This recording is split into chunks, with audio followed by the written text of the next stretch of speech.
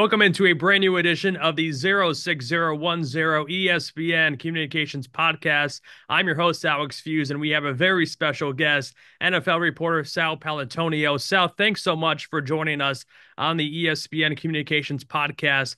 My first question to you When did you know you were going to be good at sports reporting? Oh, wow. Uh, you know, uh, I really had an inclination when they kept me around at ESPN. That's it. That's the bottom line. You know, uh, you don't really get a whole lot of kudos in this business, as you know, Alex. But the bottom line is if they ask you to come back, then they think you're pretty good. So, my first deal with ESPN in 1995, I signed in August of 95, was a one year deal with a one year option and you know, when they picked up the option, I, I, I guess that was my signal that I was going to be okay. That's awesome. Yeah, we'll get into your approaching 30 years here at ESPN. We'll touch on that later on in the podcast. But week two, Monday Night Football goes to Philadelphia. You spent most of your sports career covering the Eagles. What can fans expect from that Falcons at the Eagles matchup, week two, Monday Night Football on ESPN? Well, Monday Night Football in Philadelphia is always great, but this fact that it is the home opener is going to be huge. Uh, and the fact that Jason Kelce is going to be on the ESPN set is going to be great. It's going to electrify the crowd, it's going to electrify the community. And they are honoring Nick Foles and the Super Bowl 52 champion Philadelphia Eagles that night.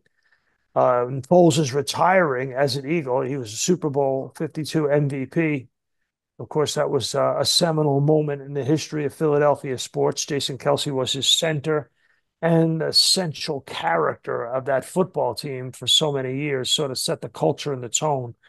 So having Kelce in the house, Foles in the house, it's going to be a Philly Philly thing for sure. Have you had a chance to speak with Jason since he's joined ESPN? I have. Uh, I saw him at Ron Jaworski's uh, 40th annual golf tournament. Jason's so good with the community. And uh, even though he's reached this mega celebrity status, he was at Jaws golf tournament. And Jaws donated some money to his scholarship fund, to his uh, foundation. And Kelce spoke to the crowd. And I got a chance to do a little Instagram talk with him, welcoming welcoming him to the ESPN family. It was literally, I think, the next day or two days after he had joined the company. So I said, "Looks like you've joined the dark side," and he laughed. What advice would you give Jason if he consoled you into joining the broadcast industry now at ESPN? Oh, you know, I think the number one thing is that just be yourself because I think that's good enough. You know, he speaks the truth, he speaks it plainly. And to me, that's always been the coin of the realm at ESPN. Yeah, 100%. 100%. Uh, before you got into sports reporting, you did spend time on the political realm. How different are the two covering politics and now sports? Hey, well, I covered politics before there were iPhones, so it's way different. uh, I did it for uh, almost three years at the Albany Times Union and then uh, almost 10 years at the Philadelphia Inquirer. And it really got me ready to cover sports. You know, it's an NFL season is like a political campaign. You know, you gather, you put together a, a, a strategy, you try to keep that strategy secret from the other organization. And then you have a game on Sunday, like an election, and then there's a winner and a loser. You know, I told you before we got started, I'm from Albany, New York, spent a lot of time growing up reading the Albany Times Union. What's one memory that sticks with you working in the capital region? I got thrown out of Mayor Whalen's office once. He had a Saturday press conference.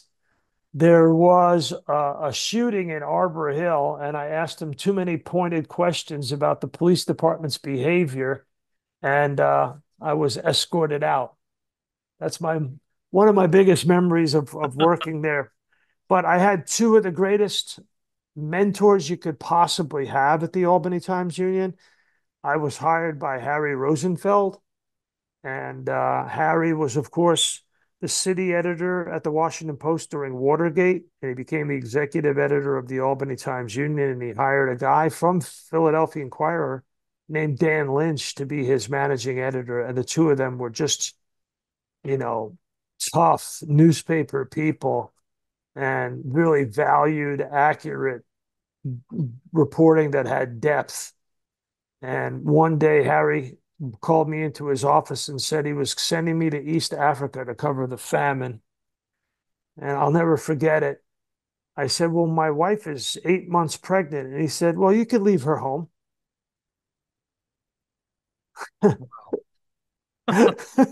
wow. What was God it? rest his soul. He was a he was a tough newspaper guy, man.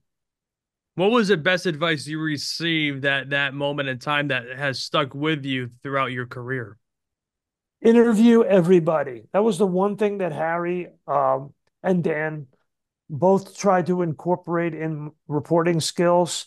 Talk to everyone, respect everyone's point of view, try to find out the truth by, you know, just figuring out what people are thinking uh, from a political standpoint. And that's also true in a locker room, too. Um, you know, don't rely on single unnamed sources. Make sure that you check out. If your mother says she loves you, check it out. That's the bottom line. Get get more than one source and talk to everybody that you possibly can. Now, Sal, you are currently in Brazil getting ready to cover the upcoming NFL yes. season. What's your favorite part of this time of year? Is it just getting the having the excitement of not knowing what's going to happen? Walk us through how are you approaching this upcoming NFL season? Yeah, it's the power of the new. There's no question about it. Of an NFL season.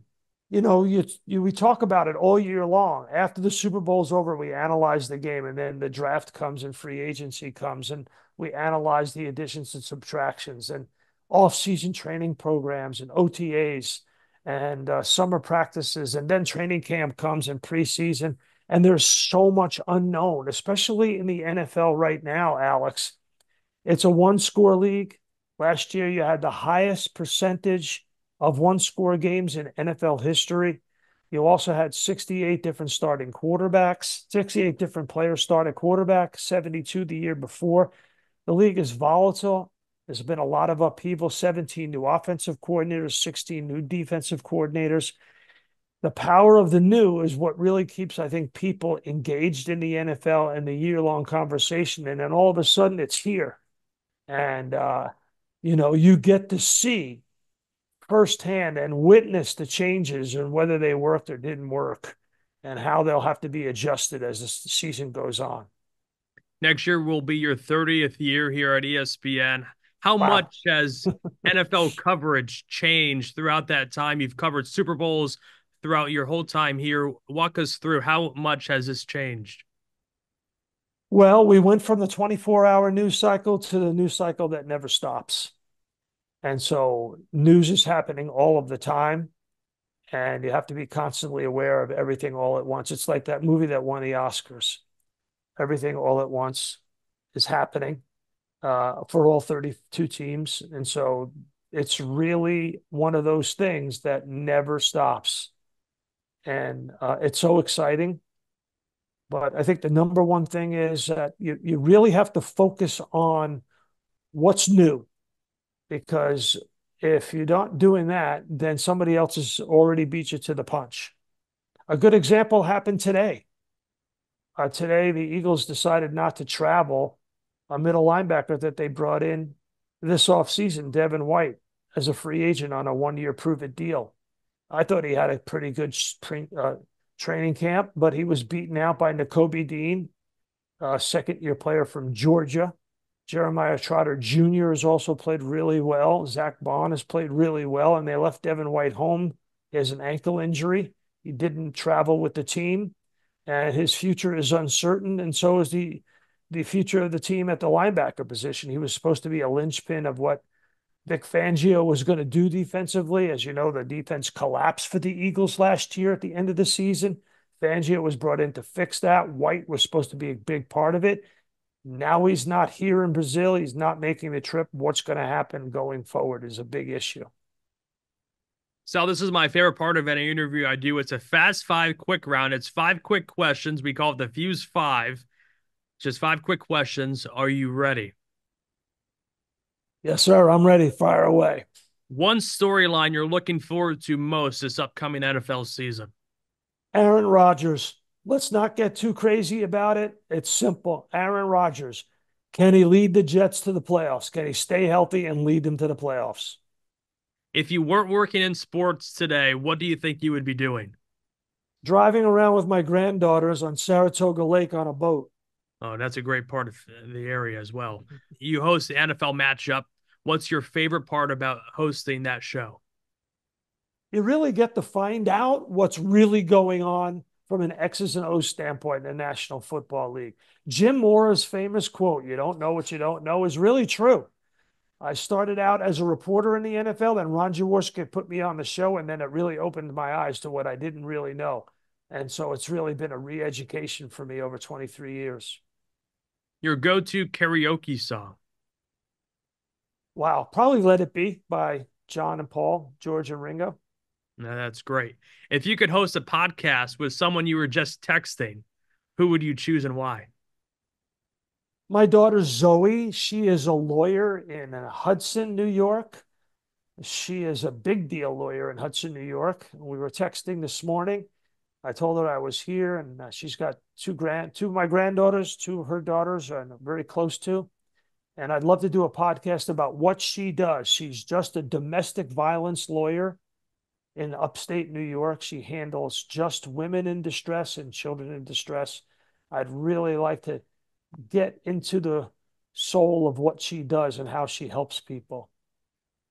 Then the last one for you, Sal. Obviously, you've covered the NFL for so um, uh, such a long time now with ESPN. What is the one moment you'll look back on in the last 30 years that you could say that's been my favorite moment?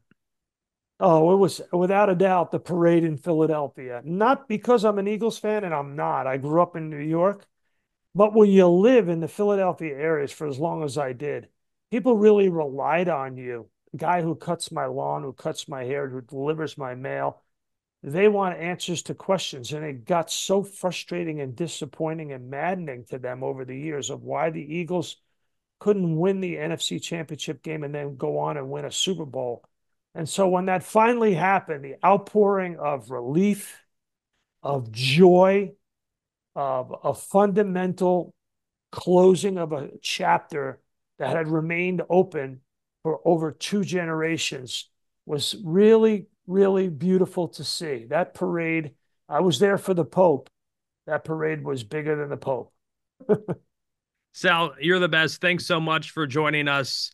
Look forward to seeing you on NFL matchup and across all ESPN platforms, and especially week two, Falcons at the Eagles. Thanks so much, Sal. Thank you, Alex.